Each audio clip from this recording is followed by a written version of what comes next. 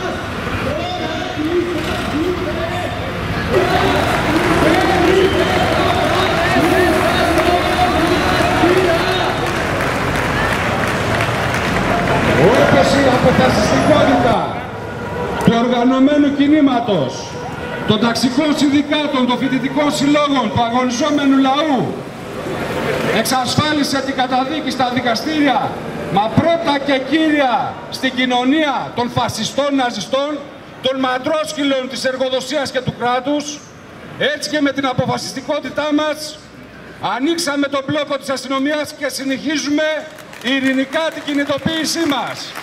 Πάμε και φωνάζουμε τα συνθήματά μας κάτω από τα γραφεία των πράγων της εργοδοσίας, του κράτους και του παρακράτους των μεγαλεπιχειρηματιών.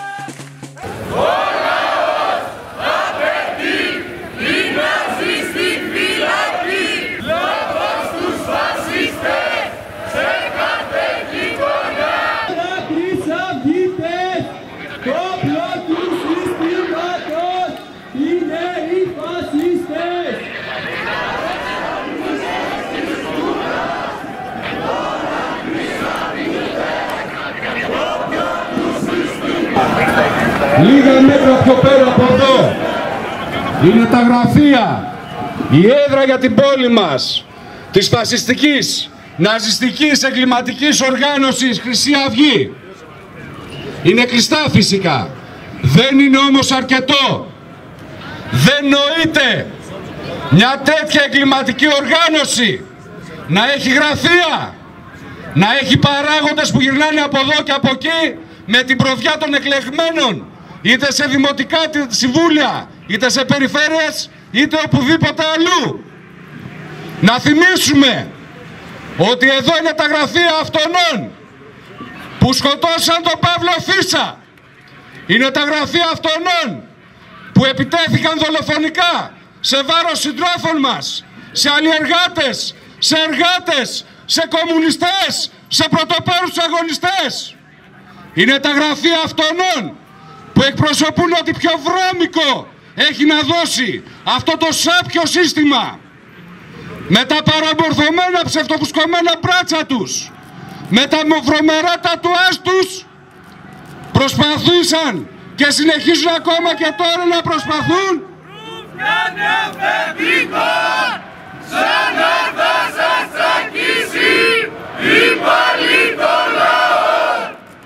Χρυσαυγίτες, ρούφιανε αφεντικών, σαν να θα σας τσακίσει η παλή των λαών. Εμείς είμαστε η εγγύηση το ότι η Χρυσή Αυγή καταδικάζεται στο σύνολο των συνειδήσεων του λαού. Όμως δεν αρκεί αυτό. Συνεχίζουμε αποφασιστικά. Δίνουμε τον αγώνα μας, τον δίκαιο αγώνα μας κόντρα στο σύστημα που γεννάει ρουπακιάδες και κασιδιάριδες. Συνεχίζουμε αποφασιστικά μέχρι τέλους, μέχρι να σταματήσει η εκμετάλλευση από άνθρωπο σε άνθρωπο, μέχρι να ξεβρωμίσει ο τόπος από αυτά τα σκουπίδια. Προχωράμε λοιπόν!